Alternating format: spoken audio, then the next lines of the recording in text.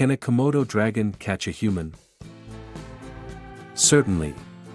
Komodo dragons have been responsible for 24 reported attacks on humans between 1974 and 2012, with five of them being fatal, according to data from Komodo National Park.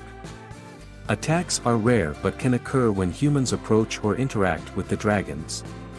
It's important to exercise caution and respect guidelines to minimize the risk of such incidents.